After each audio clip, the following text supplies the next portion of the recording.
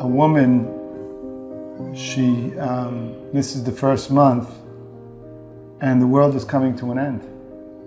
And for men, okay, let's do it again next month. One month goes by, two months go by, a year goes by. It is calamity. The world has fallen apart. You can't see anything else.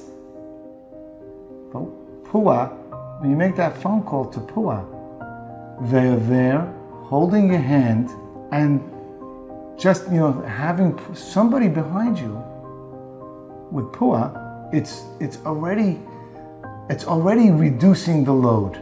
They're going to be explaining and they're going to give you, they're going to give you the right guidance, where to go, who to speak to.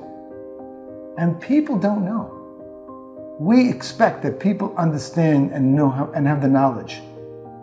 People don't know. They don't. And you have rabbis to tell us, to give us guidance.